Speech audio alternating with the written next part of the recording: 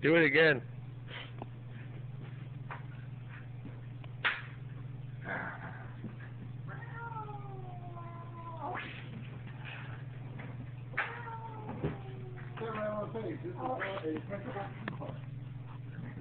Well, then it shouldn't be under the printable coupon. I thought it was pretty exclusive.